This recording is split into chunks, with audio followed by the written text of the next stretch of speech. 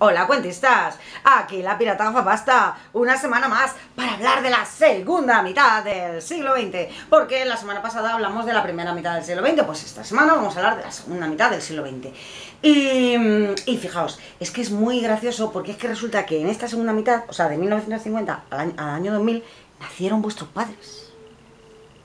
En los años 80 vuestros padres eran pequeños, ¿eh? o adolescentes, ¿eh? en los 90.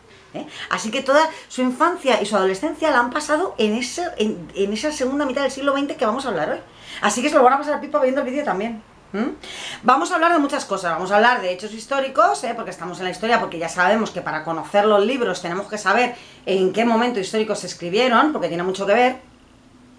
Eh, y vamos a hablar de libros que yo sé que muchos os habéis leído ya. Por ejemplo, La historia interminable de Michael Ende. ¿A que sí? ¿Eh? Que yo sé que muchos me habéis hecho la crítica literaria ya. ¿eh? Si no habéis visto la película también la podéis ver, que es mola mucho. Mola mucho. Mola mucho más el libro, pero la película mola mucho también. ¿eh? Así que la podéis ver.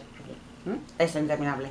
Y luego, por ejemplo, pues vamos a hablar de música, porque es que estos 50 años estaban llenos de música, llenos, mira, estaba rock and roll, estaba el soul, estaba el funky, estaba el punky, estaba el pop, o sea, que había, bueno, mogollón de música, estaba la movida madrileña, que, eh, que vamos, o sea, mm, fue la bomba. Así que, ¿sabéis lo que he hecho? He hecho un montón de vídeos abajo, un montón de recopilación de vídeos musicales abajo, para que os paséis el día bailando si os da la gana.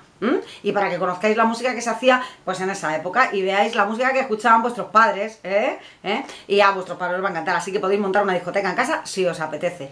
Y luego también, también, también, también, también, también, también, también... ¡Oh! claro, os he dejado a los de... en los juegos, en el tercer nivel, un escape room. Y os he dejado eh, también una actividad manual que es hacer una guitarra con una caja de zapatos. O sea, vamos, todo muy musical.